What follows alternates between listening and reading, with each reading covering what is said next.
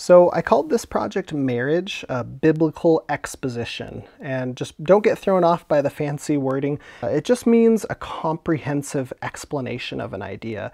And the idea here being marriage. So through this presentation, we'll touch on quite a few different topics, such as the biblical definition of marriage, uh, gender, purpose, design, and why this all matters. And my hope for creating this project is that after watching it, whatever your worldview might be, that you can walk away away with just a better understanding of the biblical view of marriage, as well as a clearer understanding of why Christians believe and teach the things that they do about marriage. What is marriage as described by Scripture? Well, point number one states marriage is the covenant union and sealing by God of a man and woman in a lifelong, exclusive, and monogamous relationship. I, I still don't get it. So to expand upon some of these terms for clarification, a covenant union is kind of like a legal binding. So think of it as a promise with legal obligations.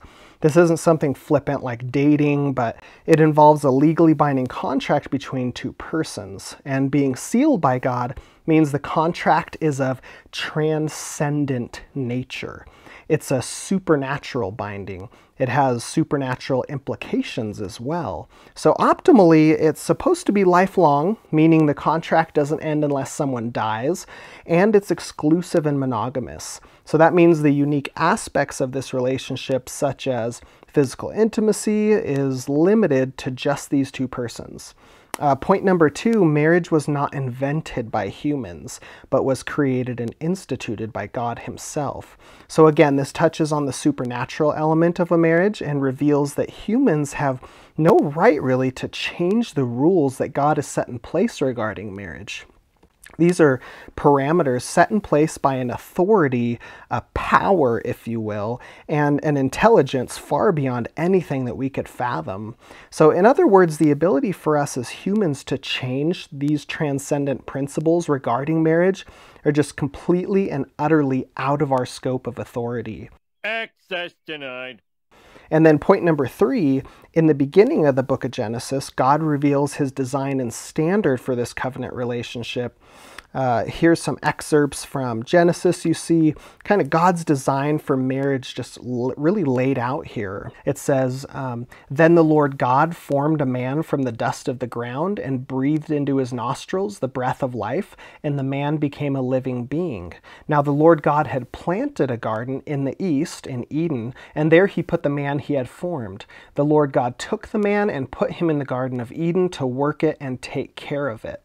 The Lord God said, It is not good for man to be alone. I will make a helper suitable for him. So the Lord God caused the man to fall into a deep sleep. And while he was sleeping, he took one of the man's ribs, or part of his side in the Hebrew, and then closed up the place with flesh.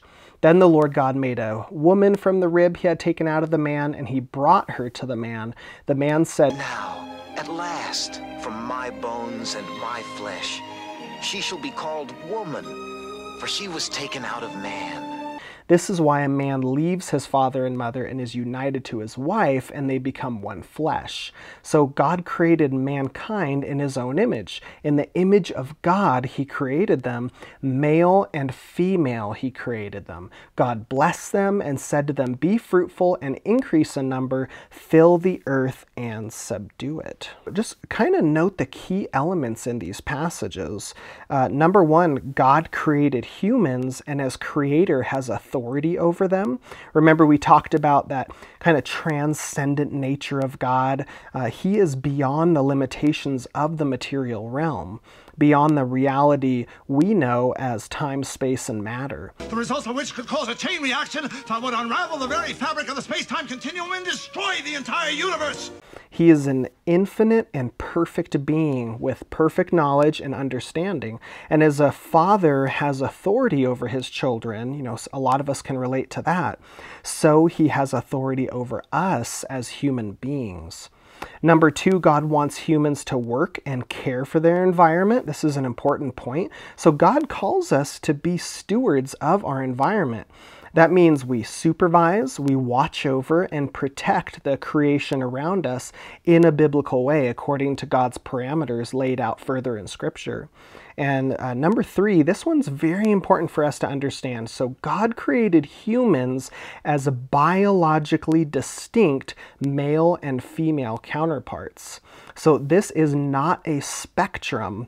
His design is that humans are male and female biologically and socially. As you read through the scriptures, these concepts are laid out really plainly. Uh, are there people born with biological abnormalities where they have, you know, both male and female biological traits?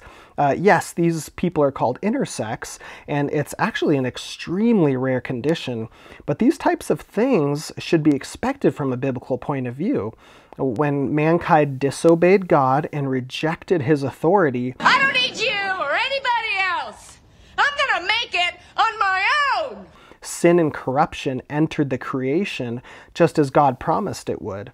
So, this caused a breakdown of many aspects of our environment, including biologically, such as diseases, abnormalities, deformities, as well as deficiencies in our mental faculties, such as some people feeling romantically attracted towards the same sex or feeling they were born in the wrong body. The, bib- the biblical view makes perfect sense when we look around at the world we experience every day. There's brokenness, pain, depression, anxiety, sickness. We live and exist in a world that's a living illustration of what happens when humanity rejects its creator and chooses to do things their own way. Number four, God created a man and woman to join together as partners. Each bring a unique set of attributes and traits to their relationship that complement one another, producing, again, a living illustration of God's intended design for humanity. This concept is highlighted historically in anthropological data. What if a man decides that his, his gender identity is, is woman? Idiro orna inne le nega wanana inkirok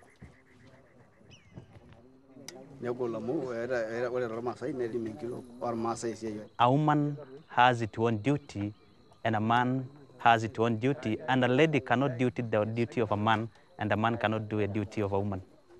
Uh, in general, men are taller, women are shorter. Men are less emotional, women are more emotional. Men have greater upper body strength, women have less upper body strength. Men are less nurturing, women are more nurturing. Men are more analytical, women are more intuitive. Men are more task oriented, women are more relationship oriented. For men, respect is a higher priority. For women, love is a higher priority. Men have a higher sex drive, women lower. Men are more taciturn, which means they don't talk as much. Uh, women are more vocally communicative. Um, men tend to gravitate towards leadership positions, women towards more yielding positions. So, are there exceptions to these rules uh, within the categories? You know, absolutely. Uh, nonetheless, the overarching theme of differences is really apparent. God designed men and women with different traits that complement one another to create an optimized unit when brought together in marriage. And finally, number five, through this union, God can allow these couples to bear children together. So, this is a unique natural process exclusive to a male and female that really reflects his life giving power and his ultimate purpose for us. One of the most amazing aspects of life is that a man and woman can come together intimately in a very special and powerful way. And from that, a child is created. A unique human being is brought forth into our world, and out of all the endless ways God could have chosen for this to take place, He chose this way, not through two men or two women, uh, but through the bonding of a man and woman to bring new life into existence. A life that will be able to grow up and to learn and to experience their environment. So that's why scripture says God created mankind in his own image. In the image of God, he created them. Male and female, he created them. God blessed them and said to them, Be fruitful and increase in number, fill the earth and subdue it. You may still wonder why can't humans change God's standards for marriage? Why? What do you mean why? Because you can't. Why? Well, this is because marriage is sacred. So Webster's dictionary actually defines sacred as, quote, something that is dedicated or set apart for the service or worship of a deity, unquote. So we touched on this in the second slide where we talked about kind of that transcendent aspect of marriage. And we as mere human beings have no right to alter transcendent laws set in place by God. So when a man and woman come together to be sealed as husband and wife in the presence of God, it's considered a sacred union. So marriage is thus a form of worship that reflects our obedience to God's purpose and design. We are to worship God by His standards, right? Not our own. And because marriage is sacred, man has no authority to change its precepts. And to do so would be a flat out rejection of God's authority over us. Oh, yeah. It's all coming together. Um, marriage is also a living illustration of the relationship between Christ and the church, which is his followers. So notice what scripture states about marriage. It says, As the scriptures say, a man leaves his father and mother and is joined to his wife, and the two are united into one. This is a great mystery, but it is an illustration of the way Christ and the church are one. Okay, so that's Ephesians. Notice the act of marriage between a man and woman has really deep and meaningful connections to how God illustratively displays the relationship he has with his people through Christ the marriage of a man and woman is really a reflection and foreshadowing of Christ's marriage to his church, the bride. So, changing God's standards for marriage is thus a distortion of his intended display of this relationship. It distorts what God is trying to teach and show us. So we don't want to twist that. Uh, we want to stick to his authority and learn what he wants to teach us.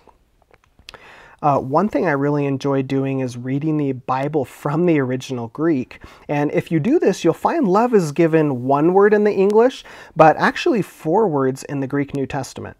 So, agape, which is a kind of universal, unconditional, sacrificial love. Storge, which is love of family. Philia, which is love of friends. And then finally, eros, which is erotic, romantic love.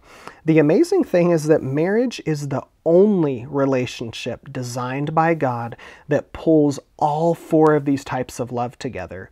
By God's design, Eros love is exclusively reserved for one man and one woman in a monogamous lifelong marriage. In no other relationship is Eros love to be used. So, just to recap, God's sacred design for marriage entails the following details. One man and one woman, the relationship is to be monogamous. You aren't sharing eros love with other people. Uh, you are not to be closely related, such as marrying a parent or an aunt or uncle, brother, sister. The relationship is to be lifelong, and both parties should be committed to God's standards for marital conduct. And if you aren't, you'll end up being unequally yoked, which is uh, will will strain and damage the relationship ultimately. So any deviation from these standards is a deviation from God's design and purpose for us. And in scripture, this is called sin, which brings us to our next question. What is sin? Okay, this is so important for us to understand if we're going to understand marriage and God's purposes for us.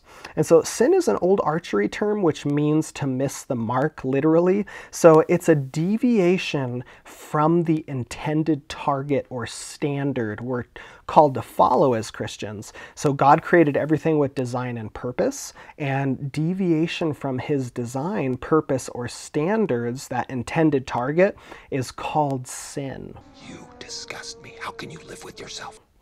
So, what did Jesus teach about marriage? Well, Jesus claimed that he was God in human form, and through his life and ministry, he revealed who God is and taught us about God's standards for our lives. Uh, when asked about marriage and divorce, it was in Matthew chapter 19, Jesus said this Haven't you read the scriptures? Jesus replied. They record that from the beginning God made them male and female. And he said, This explains why a man leaves his father and mother and is joined to his wife, and the two are united into one. Since they are no longer two but one, let no one split apart what God has joined together. So notice that Jesus affirmed God's design and standards for marriage. He refers back to the Old Testament scriptures. He explains that marriage is to include one man and one woman united together in a lifelong covenant sealed by God.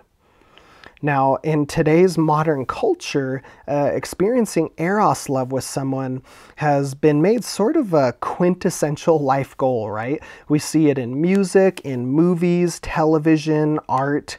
It's almost presented as something you can't live without. And if you do, you're kind of missing out on life. But in many ways, it's presented in our current culture as our ultimate purpose. But I want you to know that according to Scripture, experiencing Eros love is not our ultimate purpose. Okay, I want you to listen to that again. Experiencing Eros love is not our ultimate purpose.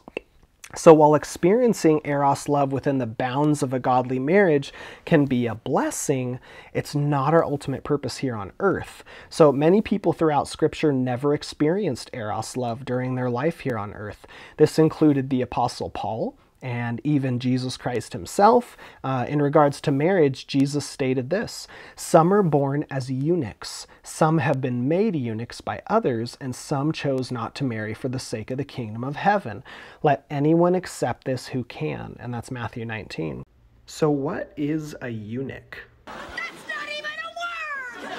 A eunuch was someone who was celibate, and Jesus outlines that some people are going to choose to live celibate lives for the sake of his kingdom, of God's kingdom ultimately. Uh, this one is interesting, the case of for singleness.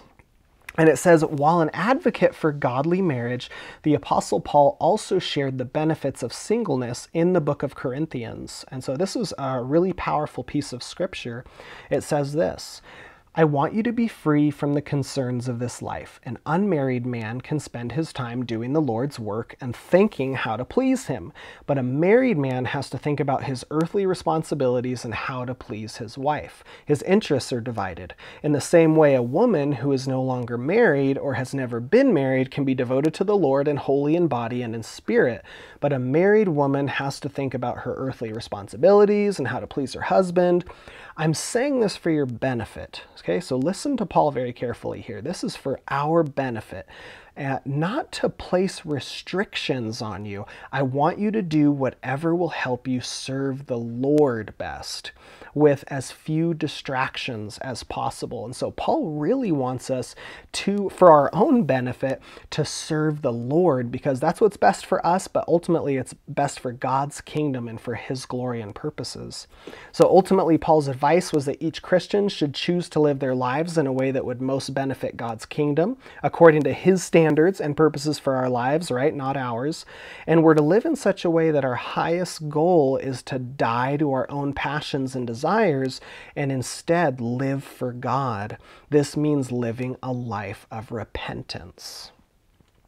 And so, did Jesus teach that we must turn from all sin in our lives? Well, Jesus taught that to enter the kingdom of God, everyone must repent, which just, means to turn from their sins and turn to God. We must be willing to give up our own wants and desires to pursue God's standards for us, no matter what the cost. And anyone who refuses to do this will be cut off from God in eternity in a place Jesus called the Gehenna or, the, or hell. Jesus shares the following statements in Scripture. This is Luke 5. I have come to call not those who think they are righteous, but those who know they are sinners and need to repent. Hey, Matthew 16 next. If any of you wants to be my follower, you must give up your own way, take up your cross daily, and follow me. If you try to hang on to your life, you'll lose it, but if you give up your life for my sake, you'll save it. And what do you benefit if you gain the whole world, but you yourself are lost or destroyed? If anyone is ashamed of me and my message, the Son of Man will be ashamed of that person when he returns in his glory and the glory of his Father and the holy angels. And then Matthew 12 is another great example. Uh, it says, The people people of Nineveh will also stand up against this generation on Judgment Day and condemn it, for they repented of their sins at the preaching of Jonah. Now, someone greater than Jonah is here, but you refuse to repent. So uh, ultimately, we are handcrafted to flourish under God's design, under this design we're talking about. So, why should we repent of our own way of doing things and abide by God's design and standards for us? Why? Well, number one, because humans are designed to operate optimally within God's intended purpose and standards for them. Our greatest purpose is to love God and serve Him. And number two, listen to this interaction a teacher has with Jesus. So it says, one of the teachers of religious law was standing there listening to the debate. He realized that Jesus had answered well, so he asked, Of all the commandments, which is the most important? Jesus replied, The most important commandment is this Listen, O Israel. The Lord our God is the one and only Lord, and you must love the Lord your God with all your heart, all your soul, all your mind, and all your strength. The second is equally important love your neighbor as yourself. No other commandment is greater than these. That's Mark chapter 12. So, some points to consider here. God has designed our reality in which when we love God most, we love others best. Okay, so that's worth repeating. When we love God most, we love others best. So ultimately, our goal, kind of the top of that pyramid for us in terms of things that are important, is we want to love God most. And from there, the things that trickle down from that are going to benefit us uh, and ultimately benefit God's kingdom. Number two, loving God most involves obeying his commandments. So Jesus says, If you love me, obey my commandments, and I will ask the Father and he will give you another advocate who will never leave you. He's the Holy Spirit who leads into all truth. So that's John chapter 14. So we want to make sure that uh, we are obeying God because that shows in part um, our love for Him and uh, for us to be obedient to Him. Number three, we must repent of our own way of doing things and commit to do things God's way by obeying His commandments, like Jesus said. Uh, obedience to God is the key to unlocking our ultimate purpose and greatest satisfaction, which is reconciliation with God through Christ. I mean, that's the gospel, that's uh, why we're here. So, uh, giving up everything for Christ, how did Jesus respond to people who were worried about giving up what they felt like was important? Okay, so there's a lot of things that are important to us in our lives that we are gonna not want to give up uh, because we really enjoy them. Oh, I wish I could, but I don't want to. Uh, whether it's a relationship with a certain person, whether it's addictions, whether it's hobbies, whether it's friends, family, our children. So notice Jesus' response to Peter. Peter said to him, We've given up everything to follow you. What will we get? And notice what Jesus says here. I assure you, that when the world is made new and the Son of Man sits upon his glorious throne, you who have been my followers will also sit on 12 thrones, judging the 12 tribes of Israel. And everyone who has given up houses or brothers or sisters or father or mother or children or property for my sake will receive a hundred times as much in return and will inherit eternal life. And so we have to be able to crucify our flesh and we have to be able to fight against it for God. Search your feelings. You know it to be true. Uh, and to be able to uh, just lay everything at Christ's feet and submit to Him. Um, trust in God's design and purpose for you. So the Lord says in Psalm 32, I will guide you along the best pathway of your life. I will advise you and watch over you. Do not be like a senseless horse or mule that needs a bit and bridle to keep it under control. Many sorrows come to the wicked, but unfailing love surrounds those who trust the Lord. So rejoice in the Lord and be glad, all you who what? Obey him. Shout for joy, all you whose hearts are pure. So ultimately, God is saying here listen, your flesh is going to want to do something um, against me and against my law, but ultimately, I will guide you along the best pathway for your life. So the Lord wants what's best for us. And this video wouldn't be complete without explaining the gospel because that's what ties all of this together. Every single one of us is a sinner who falls short of God's standard for us, and all of us deserve to be punished for the sins we've committed in our lives. In God's perfect justice, He can't let the guilty go free. There's a fine that has to be paid. Oh, that is terrible news. But God loved us so much, instead of punishing us, He came down in Jesus, lived the perfect life we never could, and then took our punishment onto Himself by being beaten and crucified, just as He had predicted. Then, three days later, He rose from the grave to prove who He was, breaking the chains of sin and death. And now all we have to do is repent. Remember, that means to turn from your way of doing things and instead submit your life to God's standards. And then trusting alone in Jesus, surrendering your entire life to Him, including your time, talents, money, family, even your own life. When you do this, God promises He'll send His Holy Spirit to live inside of you and over the course of your life change you into a new creation, conforming you into the image of His Son Jesus, and also granting you eternal life, which is called being born again. And that's Christianity, that's the gospel. And Jesus says anyone who refuses to do this will be condemned. In the book of John, he says, I tell you the truth, unless you are born again, you cannot see the kingdom of God. Whoever believes in him is not condemned, but whoever does not believe stands condemned already because they have not believed in the name of God's one and only Son.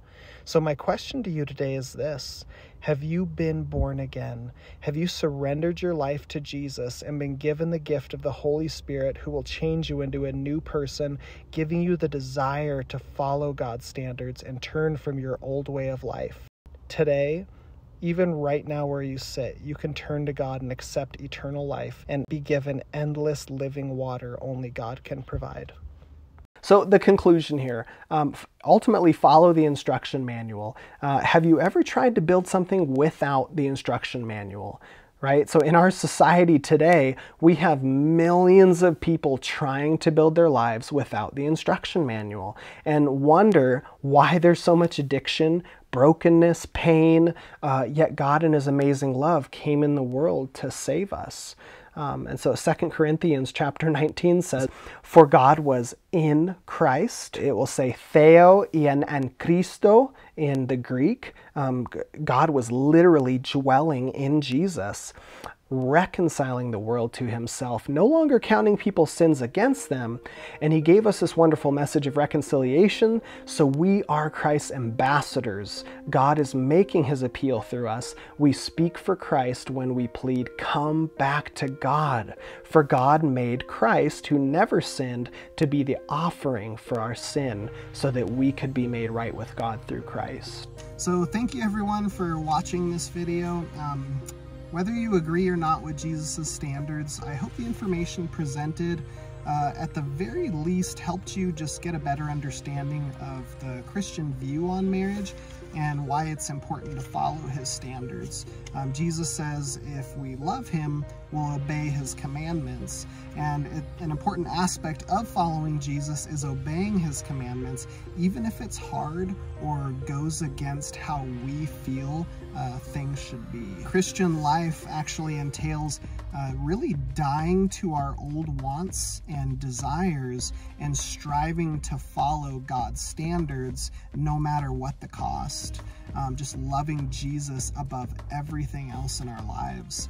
And this may seem uh, extremely difficult to do, um, but what's important that we understand is that uh, when we surrender to God, believing that we're sinners and Jesus paid the price for our sins, God will give you the Holy Spirit to dwell inside of you and change you into a new creation to give you the strength and the desires inside of you to turn from your old ways and instead turn to God, receiving eternal life with Jesus forever.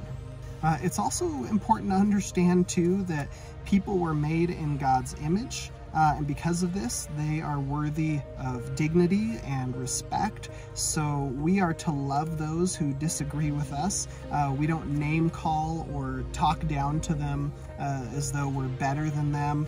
Um, we're all sinners in need of a Savior. And so as Christians, we can love those around us and treat them with compassion and understanding, but at the same time, standing firm in God's commandments for us